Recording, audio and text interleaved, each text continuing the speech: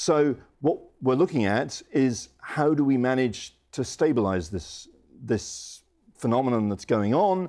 And I think the key point is those saying we have to overturn capitalism in order to do it, my main concern is I, I don't know if we've got time to overturn capitalism first and solve climate change later. I'd rather enlist some of the forces we've got available to us today to solve the problem now. I, I think you and Sarah are going to have a lot to talk about offset because we have run out of time. But no, there you we've go. I'm waited. sorry. We've Thank waited for 30 years Thank- for capitalism to work, and it hasn't worked. And Emma, you go when you go home, you will look at your children and you think I've got a 50-50 chance of it staying within a world that we know as it is today. Okay. And the people looking at Thank home, you very much. you this is not. well. This is this is where we have to leave it. Thank you very much for your time.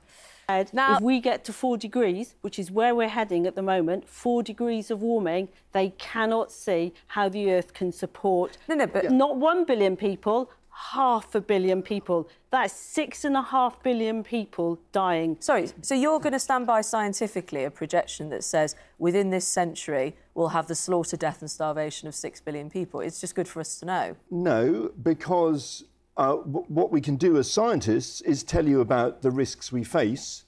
Um, the risks, the easy risks to predict, to be honest, are the ones that I do, how the climate system responds to rising greenhouse gases. The harder risks to predict are how people are going to respond Yes. to losing the weather they knew as, as their kids. But- but- but I s- but I suppose the reason those I asked- risks, and so I imagine what they're talking about there is the risks of the human response to climate change as much as the risk of climate change itself. But, When but, but, ask I, me- but I suppose the point is, if there's no science that says that, do you understand why some people who are sympathetic to your cause also feel like you have fear-mongered? For instance, Roger Hallam has also said our kids will be dead in 10 to 15 years. So, Emma, I don't know if you heard what Myles said there. He said we are losing the weather we know. All of our agriculture and our food is based on weather that has been around for the last 10,000 years. If we don't have predictable weather, we don't have predictable food sources. We run the risk of multiple losses of harvest in the world's global bread basket. It's just to the That's extent no that you are. food. It's just to the extent that you are projecting what you don't know onto the reaction of humans, and that can be counted as fear mongering. Roger Hallam did say our kids, we just double checked this before we came on, would be dead within 10 to 15 years. There's a distinct possibility that we lose not only our food supplies but our energy supplies. In California at Let's the moment, let's- millions Myles of is chomping people the bit to do get not have Let's hear electricity. from a scientist as well. There's, there's a lot of possibilities in the future. And I think what was frustrating about this process is if we fixate on things we don't know, we're not even focusing on the things we do know, which is there are perfectly achievable solutions to this problem. I was in a, I was in a fossil fuel company last week talking to them about 1.5 degrees, and I was asked the question is there really any way of us solving the, of us getting to net zero emissions by 2050?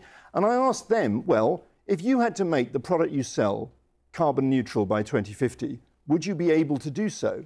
And they just looked at each other and said, yes, of course we would. So is that So is that the something? solutions are out there. That, but that's really interesting. Is that going to be one of your focuses? Because what we were just hearing in the film there is that there has been some of the people that you work alongside, you protest alongside, have talked about overthrowing capitalism, and yet here a solution might be working with some of the architects of it, the oil companies. So, um, Myles is talking about how we could move to net zero by 2050. Moving to net zero by 2050 gives us a 50 50 chance of staying at 1.5 degrees or below. That's not a risk that I want to take. So, 1.5, 1.5 degrees, we might stay within a stable climate. If we go over that, all bets are off, really. We don't know how hot it's going to get. I do not want to take a 50 50 chance on the future of everybody that I cherish. Well, Sarah, Let me come Sarah's back to just the dumped all over that yeah, let quickly. Me, let me come back to the 1.5 report. Um, the risks go up with every half a degree of warming. Nobody's going to say, you know, oh yes, we'll settle for an extra half a degree and it won't matter. Um, at no point did we say that if we cross one and a half degrees, um, we will the, the warming will immediately accelerate out of control. So what we're looking at is how do we manage to stabilize this this phenomenon that's going on? And I think the key point is those saying we have to overturn capitalism in order to do it. My main concern is I, I don't know if we've got time to overturn capitalism first and solve climate change later. I'd rather enlist some of the forces we've got available to us today to solve the problem now. I think you and Sarah are going to have a lot to talk about offset because we have run out of time. But no, there you we've go. I'm waited. sorry. We've Thank waited for much. 30 Thank years for capitalism to work, and it hasn't worked. And Emma, you go when you go home, you will look at your children and you think I've got a 50-50 chance of it staying within a world that we know as it is today. Okay. And the people looking at Thank home, you very much. you this is not. well. This is this is where we have to leave it. Thank you very much for your time.